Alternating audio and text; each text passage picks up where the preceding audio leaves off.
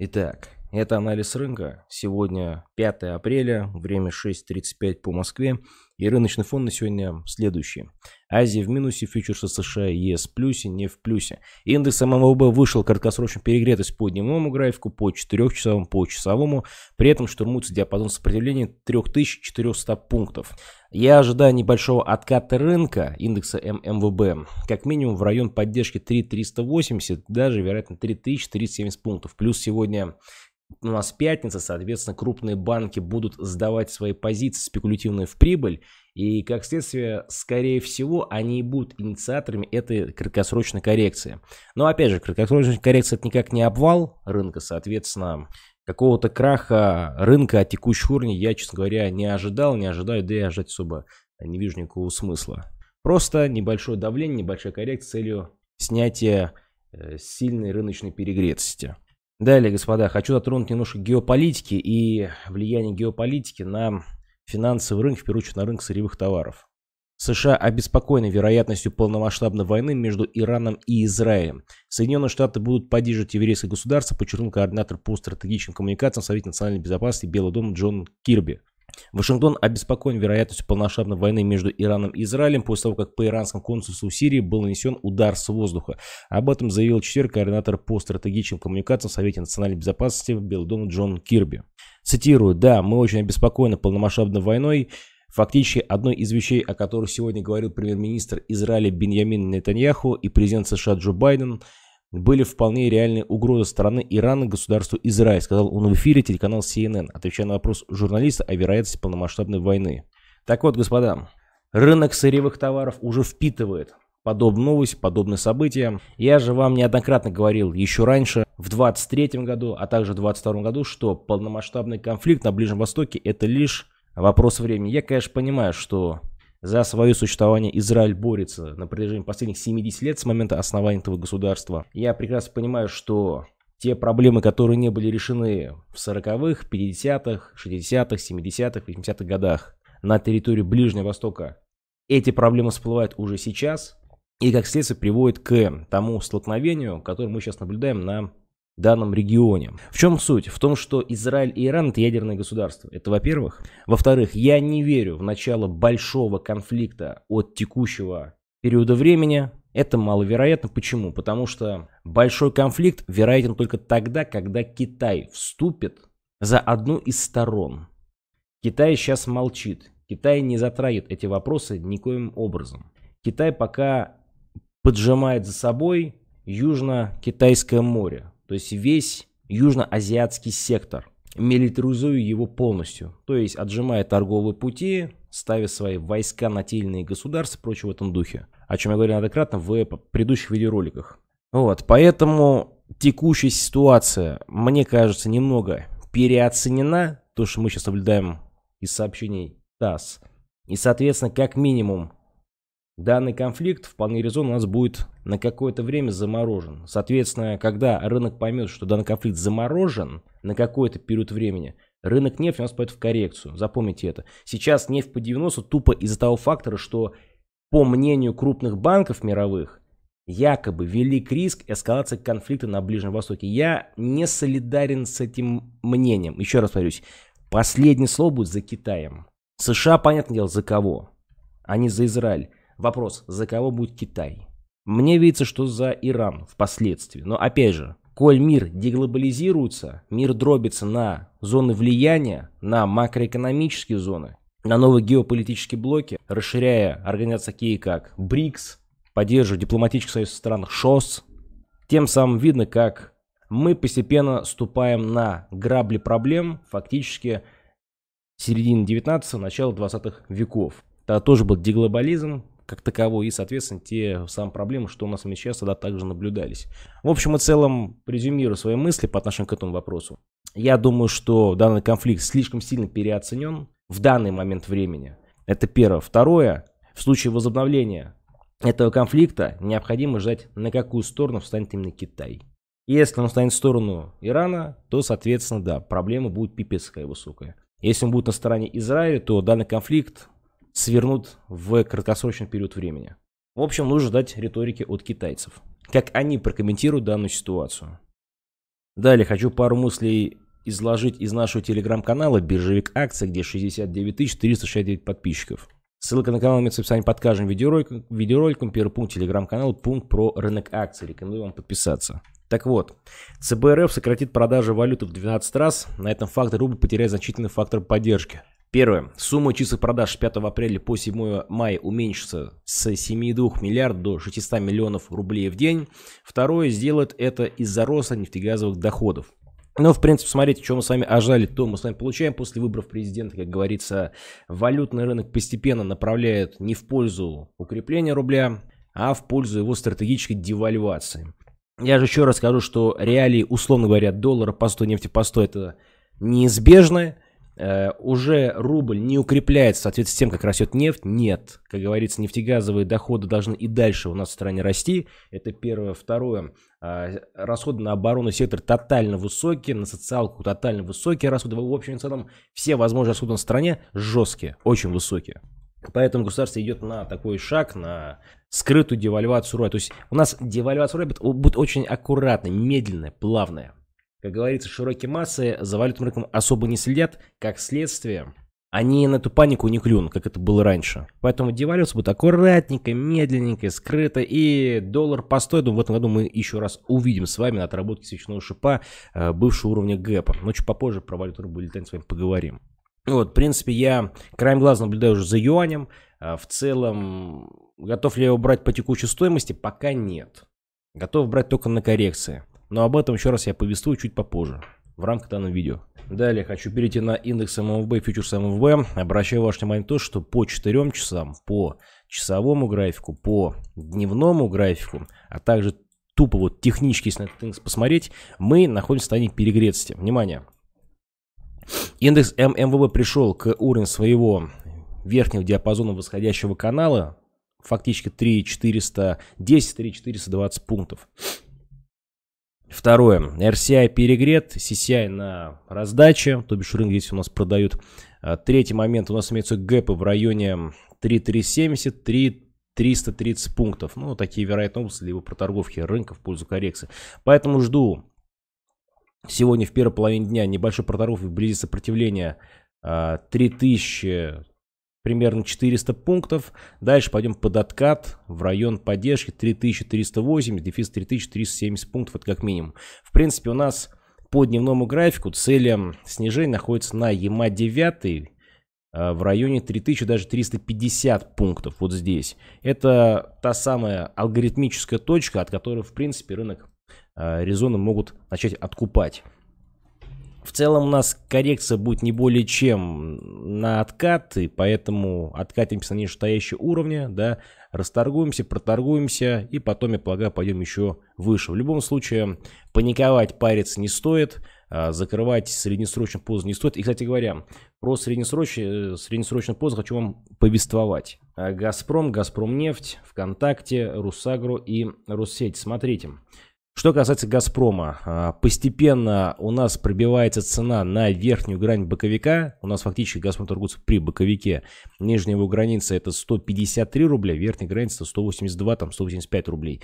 Аккуратно, медленно, но верно по «Газпром» будем выходить на вот эту точку, верхней границы БКК. Вполне реально, что это может быть перед дивидендным событием, может быть еще перед чем-то. Вообще наплевать, если честно, перед чем «Газпром» будет сюда вот разворачивать, мне по барабану. Я лично позиции по этой бумаге держу. Когда была паника, я спекулятивную позу закупал. Ну, в, примерно позавчера э, спекулятивную позу в рамках нашего клуба трейдеров я распродал. Вот, в рамках этой междуневной сделки в 3,2%. А остальные 10% от депозита я также держу в Газпроме инвестиционно. Поэтому я не парюсь, я не сучусь. По Газпрому у меня стратегические цели выше. Ну, в принципе, есть откат по бумаге, да, я ее покупаю. Как говорится, спекулятивно. Потом она начинает расти, я ее продаю также спекулятивно, но при этом инвестпозу все равно продолжаю держать дальше. Я имею в виду по Газпрому. Так что здесь мысли прежние. Далее, по компании э, «Газпромнефть». В принципе, мы с вами показали довольно бурное и жесткое движение в соответствии с тем анализом, что я озвучивал ранее. Вот в рамках нашего телеграм-канала «Биржевик акций», где 69 369 подписчиков. Я еще публиковал этот прогноз, разметку 29 марта, ну фактически месяцем ранее. О том, что «Газпром» торговаться долго не будет на уровне 720 рублей, «Газпром» будет потом по 740, потом по 750 и по 780. Ну, то есть такая волнообразная проторговка будет. Но после выноса вверх у «Газпрома» будет, у «Газпромнефти» будут цели ниже. Ну, в принципе, что и произошло. «Газпромнефть» взял шартистов к чертовой матери, разорвал без вазелина и полетел на 707-780. Ну что, в принципе, имеем. Газпром нефть уже вышел на медиану полосу Боллинджера 780 рублей. Здесь я жду небольшую такую проторговку, небольшой дрейф и потом откат вниз на район 720, там может быть даже 700, 700 и даже 690 рублей, то есть на большие реперные поддержки. Поэтому, в принципе, отскок мы показали, соответственно, с тем продуктом, что я озвучил вам ранее. Вот, теперь, как говорится, цель у нас находится ниже. То есть торгуем четко в пока еще нисходящем тренде. В общем, с профитом я всех поздравляю, кто бумагу лонговал. Как говорится, среднесрочно здесь я полностью отработала. Красавчики, молодцы. И прибыль, в принципе, резон фиксирует на текущих уровнях. Далее, я постепенно начинаю пылесосить с рынка среднесрочной позиции по акциям компании ВКонтакте и акциям компании Росети ФСК, ну, точнее ФСК Росети. Цены, во-первых, торгуются в треугольниках. Это компании государственные, их поддерживают всячески со стороны того же самого нашего с вами федерального бюджета. Деньги выделяются на развитие этих предприятий, поэтому по ВКонтакте жду аккуратно выхода из треугольника вверх в район 700 а, рублей и в район 800 рублей проходящий уровень 750 рублей. Короче говоря, тут первая цель будет в районе 680, 750, дефис 800. Так что, в принципе, по этой бумаге будем расти выше, на эти вышестоящие уровни. Я, в принципе, среднесрочный пост держу. Вчера поднабрал, не парюсь, не сучусь, как говорится, жду цели повыше на отработку. В принципе, по ФСК Русеть тоже я тут позиции постепенно подбирал. Вот, э, среднесрочный позу сформировал, жду выхода цены в район Ямасота по недельному графику 0.13 400 рублей. И вторая цель на отработку шипа 0.14 рублей 400. Короче говоря, из треугольника также будем аккуратно выходить вверх и, соответственно, штурмать вышестоящие уровни сопротивления. Так что, в принципе, даже сегодня в электросетевого сектора самая стоящая бумага это ФСК Русети. Так что компания государственная, компания голубая фишка, компанию поддерживают и ликвидностью на рынке, соответственно, деньгами в общеэкономическом сегменте. Поэтому цель этой бумаги выше, так или иначе. На может, дивиденд политика, в принципе, тоже неплохая. Далее, что касается акций компании Русагро, также вышли вверх из треугольников в соответствии с прогнозом, который я озвучивал 29 марта. Блин, конечно, накопление в треугольнике было довольно долгим в этой компании, да и вообще в любой компании, когда акции торгуются при треугольнике, копится очень долго импульс для выноса. А, вот, честно говоря, меня теребит. Почему? Потому что когда ты находишься сам в позиции, да, когда ты в треугольнике торгуешь, у тебя, блин, столько мыслей прилетает, что а может быть цена вниз выйдет, а может быть сразу вверх, блин, а может быть не может, знаешь, такое слово бесит меня, это слово может. Я вообще бы, бля, на госуровне бы запретил, вообще просто, чтобы никто бы его не произнес, просто вот искать альтернативу этому дебильному слову, этому дебильному э, словосочетанию. В общем и целом, по Русагру вышли вверх, э, вынеслись из треугольника, от торговым первый уровень 1500 рублей, вторая будет цель на уровень 1600 рублей на отработку этого долбанного свечного мать его шипа. В общем и целом, кто в позиции, с профитом поздравляю, кто вне позиции, не поздравляю, в общем и целом цели выше. Далее индекс РТС и фьючерс на индекс РТС э, пришли на район сопротивления ЕМА 200 диапазона 1160 пунктов. В общем и целом здесь, э, если у кого позы остались лонговые, блин, я Думаю, есть резон их закрывать на текущих значениях. Почему? Потому что э, РТС, он в принципе перегрет. И запомните одну простую вещь, что когда будет расти валютный рынок, а он, сука, будет расти неизбежно. Никакой поддержки для рубля уже нету. Все. Пустили опять свободное плавание. Тогда РТС будет падать. Поэтому я еще раз говорю, что из треугольника выноса вержу как манипуляции. А дальше цели ниже, господа. Будьте аккуратны кто в соответствии с моим прогнозом залонговал РТС, у вас прибыль уже 15% с учетом кредитного плеча в шиту во фьючерс. Чего вы ждете, я не понимаю. Чего вы не закрываете прибыль? Вот мне вчера пишут, штурмуют сообщения, вот типа Михайлович, РТС растет, где закрываться. Так по текущим ценам закрываться надо-то, по мере роста. Вы уже на ЕМА 200 Что ждете? Меня ждете? Благословение ждете? Или что ждете, не пойму. Прибыль есть, фиксируйтесь. И рынку потом спасибо скажите. Еще потом раком перед монитором поклонитесь. За то, что вам рынок эту идею преподнес, за то, что вы ее торговали, прибыль получили. А не как некоторые там с потребительскими основами. И с этим дебильным потребляцким мышлением, что им якобы рынок должен, а когда цена растет, они такие гору рынка прям, пипец. Когда цена падает, они потом крайних ищут. Резонно закрывать по текущим уровням и фиксировать прибыль. Я все сказал. Далее, что касается валютного рынка, еще раз. Поддержки до рубля нет никакой, это во-первых. Во-вторых, торгуемся пока по доллару в боковике 88 дефис 93. Соответственно, торгуем сейчас при формации треугольника по баксу. В принципе, ожидаю локального снижения бакса, потом выхода вверх на отработку свечного шипа по доллару в районе 100 рублей. У нас цели выше, то есть мои мысли максимально прежние, то есть я не могу что-то нового добавить, разбавить какими-то новыми баснями о валютном рынке, нет. Проторгуемся в треугольнике, выйдем локально вниз, проторгуемся внизу, потом пойдем закрывать свечной шип. Все. Вам ЦБ сказал. Не собираемся мы продавать валюту, не собираемся мы покупать рубль, нам это все нафиг не всралось, идем доллару по 100. Все, Центральный банк это сказал. Завуалировано, конечно, не, не в прямом смысле, а завуалировано. Что все, никакой поддержки рубля нету. По евро та же самая херня, по юань та же самая херня.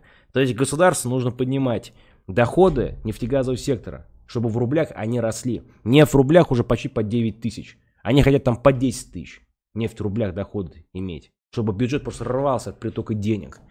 И у них это получится. Доллар по 100, нефть по 100, Нефтерубль где-нибудь по 10-11 тысяч мы точно увидим в такой ситуации. Потому что надо как-то ведь затраты перекрывать. Да, у нас будет потреб инфляция расти с этого дела. Проминфляция будет расти. А что поделать-то? Мы все находимся сейчас в инфляционной спирали, о которой я вам говорил последние пару лет. Ее не избежать. Вторая волна инфляции уже по факту началась. Что вы хотите? Так что, в принципе, кому интересен юань, лесенько можно уже даже от текущего уровня его приобретать. Куда его потом вкладывать юань? Да куда в, в юаневые вклады? Вон, не знаю, в трехбуквенном синеньком Госбанке, рассмотрите их, там вклады, в принципе, высокие, там по 4,5, там по 5% можно найти. То есть, видно, шансов формируется как голова и плечи перевернутая. Да, по юань сейчас поторгуем здесь, немного снизимся, потом пойдем выше. На закрытие гэпа и отработки уровня 14 рублей за юань. В принципе, может быть, даже я и текущую стоимость готов был бы юань покупать, да, как вариант. Вот, на горизонт скорее всего, среднесрока. Но опять же, если бы я начал покупать валюту от текущего значения, я бы делал ставку тупо на хеджирование позиций своих. В общем, подумаю, покумекаю, сразу я решение это пока не стану. Стратегические по рублю будем все равно девальвироваться, это неизбежно. Далее, по рынку драгопрометаллов, рассматриваю их сейчас с точки зрения и призмы а, недельного графика, потом дневного, потом часового 15 минуток. Смотрите, по золоту картина у нас следующая. По недельному графику у нас цели все равно выше. Пробили треугольник, нужно его протестировать и пойти выше на одну вторую гана 2 шот 2800. Все, цели выше. Время золота, время драгметаллов наступило. Дневной график. Идем на откат. Тестировать треугольник. Проторгуемся вблизи 2150, пойдем еще выше. По 4-часовому графику. Идем также ниже. На дивергенции по RCI. Снижаемся в район 200, 2, точнее 2 230, отскок 2, 267 на ЕМА-9 и дальше выход вниз на 2, 150. Проторговываемся, уходим выше. Часовой график, та же самая шляпа. Выходим ниже на 2, 250, расторговываем реперный уровень поддержки, Ямасоту, отскакиваем вверх 2, 260, потом уходим еще ниже на 2, 150. Там проторгуемся вблизи уровня ЕМА 200 по часовому графику и уходим выше. Все. Картина пока такая краткосрочная, нисходящий тренд у нас формируется по золоту. Такой же краткосрочный нисходящий тренд на дивергенции формируется в серебре, но это не обвал, это не крах, это просто откат. Отскок, дальше откат на 25.70, здесь проторговка, расторговка, уходим потом выше, в район сопротивления 30 долларов за унцию. Потому что по недельному графику мы уже пробили треугольник, с тем самым у нас будет откат и выход на одну вторую Вейрогана 30-31 доллар за унцию. По платине. В принципе, шляпа пока прежняя, боковик остается. Я ее в мере сейчас рассматривать не буду, потому что, в принципе, малоликвидный инструмент. Палладий я, э, как и серебро, держу в среднесрочном лонге. Мои цели по нему выше. Стратегически по палладии будем хоть на уровне 1200-1400. В общем, не парюсь, не суечусь. А по золото рубль э, штурмовали ранее 7 тысяч рублей. Откат нам необходимо показать в район поддержки 6500, либо даже 6300. И потом выходить еще выше на 8-9 тысяч. По серебру рубль та самая фигня. Откат локаль на уровень 87-90 может быть. И с выходом на одну вторую гана в район 110-120. В принципе, цели выше. Позиции держу, не парюсь, говорить не случаюсь. Да, конечно, у нас имеется жесткая ценовая перегретость, но а, чем черт не шутит, тем что откат у нас по рынку будет. И после отката пойдем мы еще выше. В общем и целом, здесь не более чем коррекционный откат у нас будет по рынку, потому что эти металлы все перегреты, спекулянты сейчас будут позиции раздавать, и, соответственно, потом выше а, рынок будут выносить. Такая, в общем, правда жизни. Далее, нефть марки Brent. Я еще раз говорю, что э, рост нефти тупо на э, факторах потенциального военного жесткого обострения между Ираном и Израилем. Все, больше тут факторов роста нету. Нефть перегревается на недельном, перегревается на дневном графике. Соответственно, да, конечно, могут нефть занести еще повыше, на 93-95. Но потом, когда э, на Ближнем Востоке ситуация устаканится, успокоится, я уверен, что успокоится в ближайшее время, потому что Китай еще ничью сторону не занял. Последнее слово за крупной экономикой мира. Потому что мы сейчас играем по факту в шахматы. Мы с вами пешки. Кто находится в королях? На одной стороне шахмат это США, на другой стороне шахмат это Китай. И вот они играют в шахматную партию. Кто кого поимеет, называется. Соответственно, Китай пока еще решается. Кому ему, за кого ему выгоднее вступать? За Израиль или за Иран? Вот за кого? Он пока сам не знает. Поэтому вся эта ситуация военного обострения Ближнем это лишь пока временный фактор. Ее потом устаканят. Когда ее устаканят, нефть нас пойдет в район 8,6 и в район 82. Так что будьте настороже, будьте готовы. Я, в принципе, в скором времени на откате рынка нефти готов его шортить к чертовой матери. Далее, природный газ. А, здесь в целом у нас картина прежняя. Боковик продолжается. 1.65, 1.85. Тут пока и будем торговаться в этом замкнутом диапазоне. В общем, здесь цели у нас с вами пока боковые. В общем и целом, подводя итоги данного а, видеоролика, анализа рынка, вам скажу одну простую вещь, что по рынку откат небольшой мы покажем, это неизбежно по рынку акций. По рынку металлов откат уже показываем. Кто находится в лонгах Газпром нефти, резону фиксировать прибыль. Кто находится в лонгах индекса РТС, тоже резону прибыль фиксировать. Кто находится в лонгах, например, Русагру, смотрите сами, тоже можете прибыль фиксировать. Вот. У кого лонги среднесрочно по Газпрому, по ВКонтакте, по ФСК, там смотрите по ситуации. Кого прибыль устраивает, там везде можете фиксировать. Как говорится, а, у, у каждого свой риск-профиль. Одним хватает прибыль там в 5 там, процентов, другим хватает прибыль там в 25, третьим там в 105, да. То есть у каждого свой риск-профиль, до которого может держать свою позицию.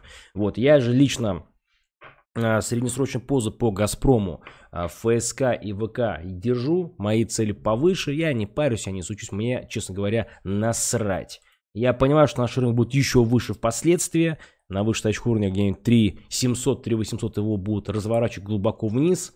Вот. На тех уровнях я свое добро буду брать и, соответственно, продавать. Ну, а почему бы и нет.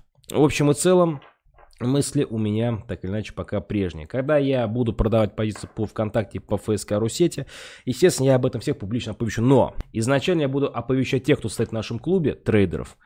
Подписаться на него можешь через сайт биржевик.ру, либо через нашего телеграм-бота, биржевик-бот. И, соответственно, я их там набирал, эти позиции, писал, публиковал свои трейды, обосновал, почему я жду роста. И только потом, с каким-то лагом во время, задержкой во время, я это решил опубликовать на наши публичные источники. И уже через сутки спустя я это все публиковал на YouTube. В общем и целом, я сегодня тоже буду там прямой эфир своих торгов, поэтому рекомендую на наш клуб трейдеров подписаться. У нас также имеется телеграм-канал про рынок акций, про сырьевой рынок, про облигации, про банки, про ВКонтакт-группу и Яндекс.Зен. На эти каналы тоже подписывайтесь и будьте в курсе событий. Ну и помните, что мы все обречены на прибыль, лишь время грамотной стратегии, наши главные, сука, союзники. Да, вот вы видите, что у нас происходит. Иди на рынке хоть жопы жуй, бери, покупай, если хочешь продавай, прибыль фиксируй, в лес убегай. Все.